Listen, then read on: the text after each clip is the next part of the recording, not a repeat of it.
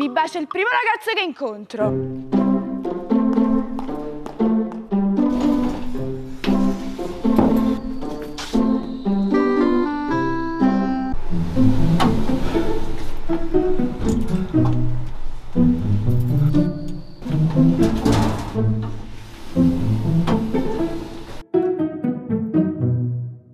Eh, bello questo ascensore.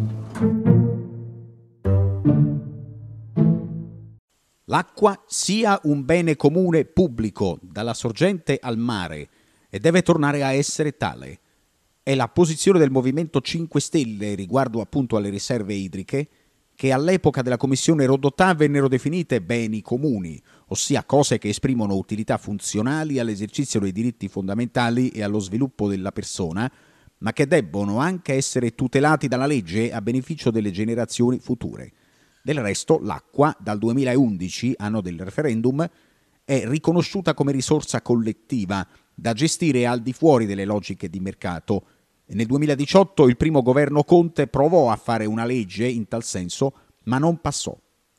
Il tema dell'acqua pubblica, gestita direttamente dai comuni, è stato affrontato ieri presso l'aula consiliare del Palazzo di Città di Cavale Tirreni, in un incontro pubblico organizzato dal gruppo territoriale del Movimento 5 Stelle in collaborazione con altre forze di ispirazione progressista. Tra i relatori Rosa Rinaldi di Unione Popolare, Sergio Marotta, professore di sociologia giuridica, Bruno Miccio del gruppo 183 e Vincenzo Belgiorno, già direttore dell'ente idrico Campania, hanno cercato di analizzare l'attuale situazione nella regione. Improvviso forfè di Roberto Fico, già presidente della Camera dei Deputati, e di Virginia Villani, coordinatrice provinciale del Movimento 5 Stelle. Moderava Giuseppe Benevento. Noi nel 2011, in seguito a grosse sollecitazioni popolari, abbiamo avuto un referendum del giugno 2011 in cui si è manifestata la volontà con una grossa partecipazione pubblica che l'acqua non fosse oggetto di compravendita, nel senso che non, fosse, eh, non, non si facesse inter eh, interessi privati sull'acqua che è bene pubblico, perché l'acqua è bene pubblico dalla fonte al mare, poi c'è in mezzo tutta una parte di gestione. Perché non una legge? Dopo il 2011 si è provato a livello parlamentare con un intergruppo costituito da varie forze politiche a portare avanti una riforma di iniziativa popolare.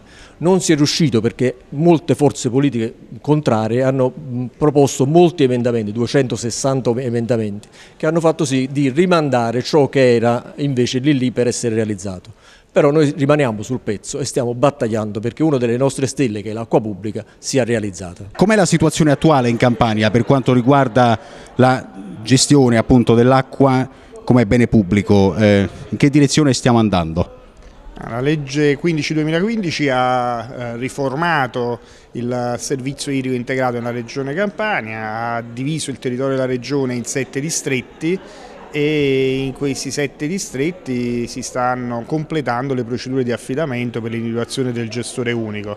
La norma è allineata al, al, testo unico ambientale, alla norma nazionale che prevede appunto un gestore unico per uh, l'intero ciclo delle acque, dalla captazione al trattamento depurativo e l'eventuale riutilizzo. Professor Marotta, docente di eh, sociologia giuridica, c'era stato un referendum eh, che nel 2011 aveva stabilito che l'acqua era bene comune pubblico. Non si è fatto ancora abbastanza per ottemperare a questo dettame?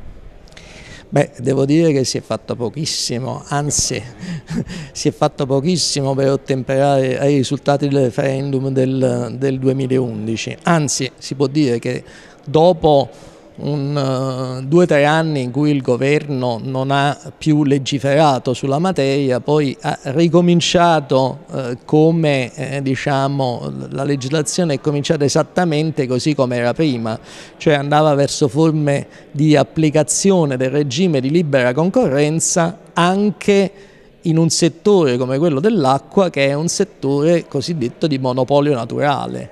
Quindi eh, il mercato e le sue regole non possono eh, in qualche modo regolare le esigenze sia del pubblico sia le esigenze ambientali. Dottoressa Rosa Rinaldi, Unione Popolare, cosa bisognerebbe ancora fare affinché l'acqua sia davvero un bene comune pubblico?